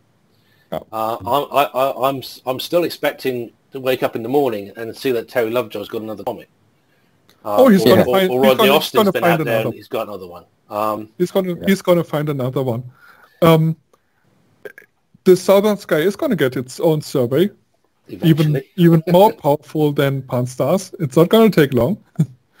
um, LSST in in uh, Chile, they, and yeah, Mm. they're, they're gonna start operating in uh, I think 2022. But um, even then, even if the southern sky isn't um, isn't a playing field for amateurs anymore, you still have twilight. Mhm.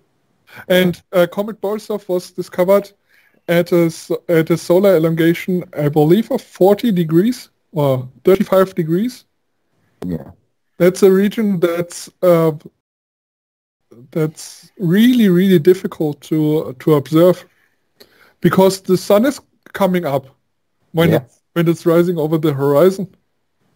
So um, you're getting um, you're getting into a into a region where if you are an amateur uh, with a good view of the horizon and with with really good and dark skies, um, you can really start to look in the in the regions that are left over from the surveys. I mean, if you had uh, uh if you were an amateur 20 years ago, you could just point at the night sky uh, image for half an hour and discover an asteroid. Mm. That's not going to yeah. happen today. Yeah. In, because the surveys have covered this region a week ago. You, you know what? You know what I think we should but, be doing. But you can still you can still cover the. Uh, there's still something left, and I think um, uh, what Borisov has shown is that these these regions uh, near twilight um, are really something worth looking at, and are something that's maybe not worth for professionals to invest time in, mm-hmm. and that and that shows it, that we really need amateurs to discover these objects. That's something beautiful, I, I think, because the the role of amateurs is often overlooked. Here's something that only amateurs can find. Well, that and the fact that the professionals don't want to risk their kit um, in that particular area of the sky with the sun coming up, um, mm-hmm. or it's when it's the sun's still setting. So that is the perfect time for an amateur astronomer um, yes. to get out there and to, to actually be exposing um, plates. Well, well I'm going to be old-fashioned, call them plates.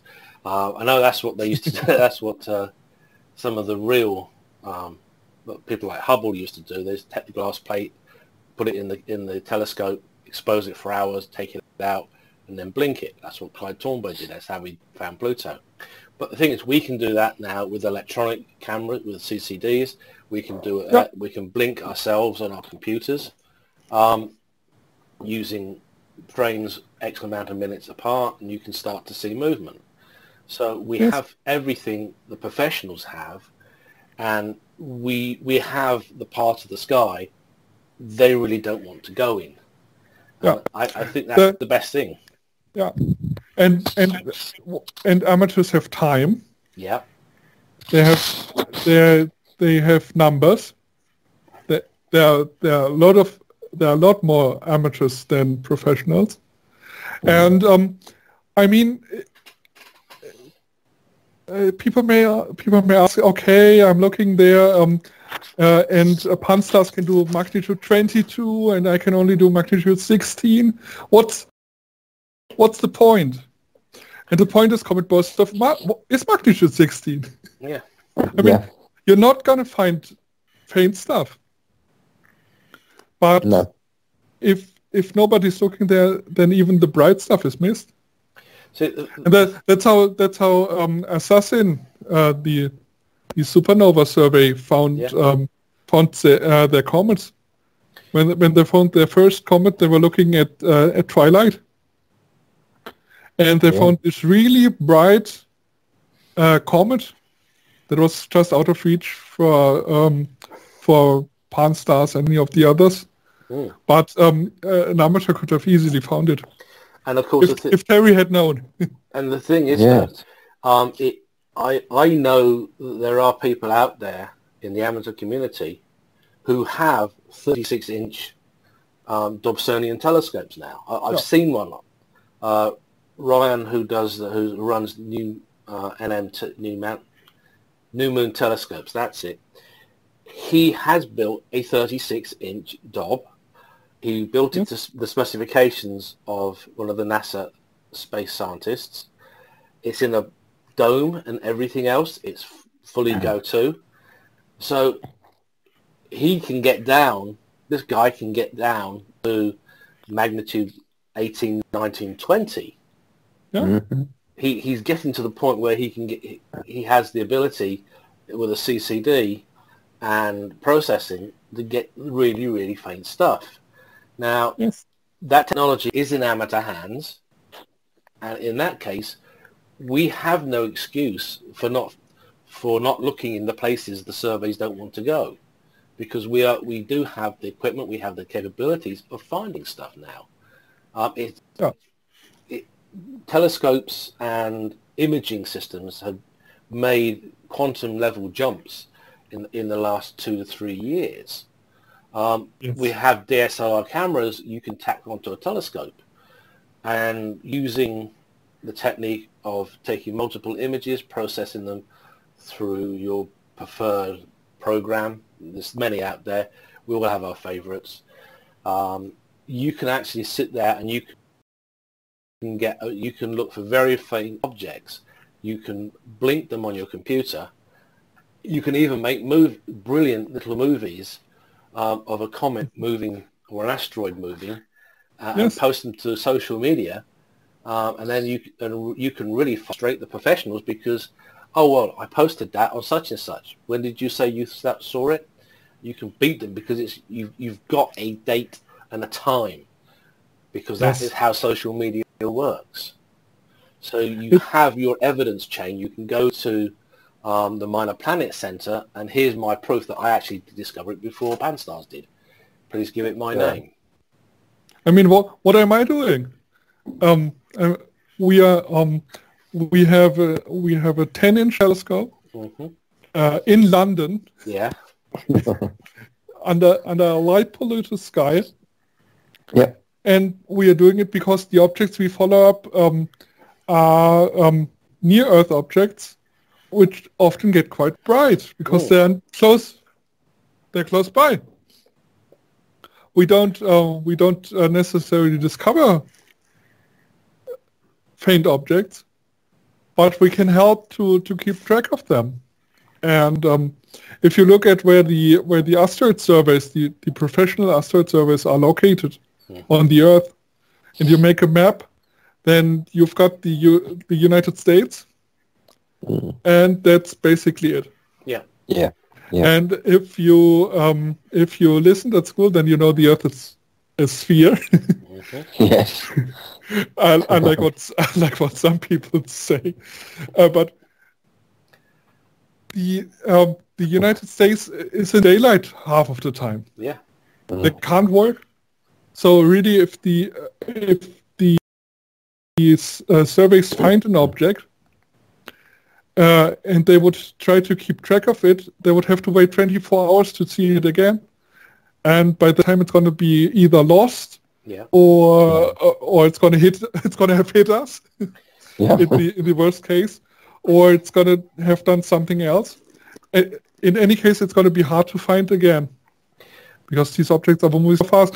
So you really need uh, global coverage. Yeah. And that's something you can only do with with amateurs.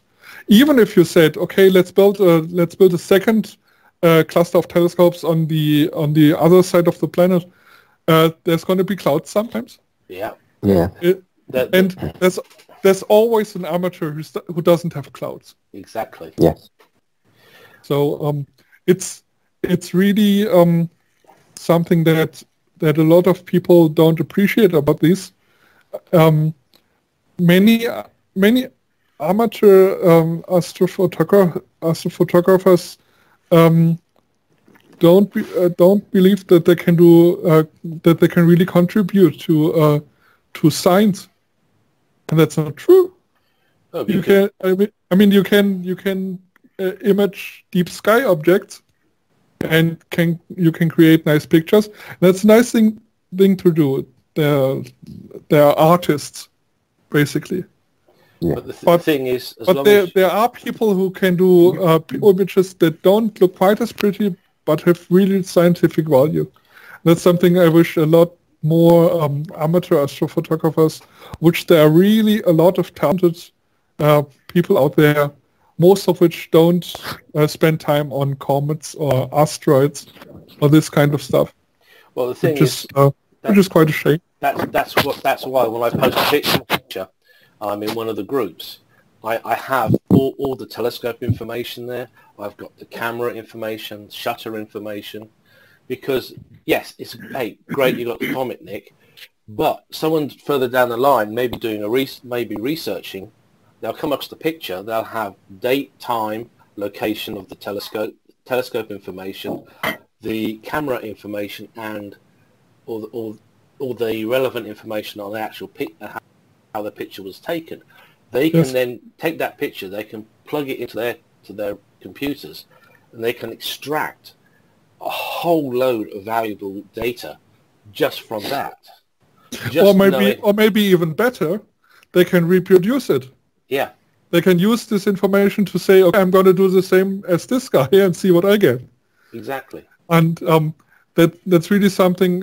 I mean, if you um, if you look uh, outside of astronomy in, in science, you always have um, studies, and you've got trouble to replicate them Mm. because the authors uh, didn't really accurately describe what they've done.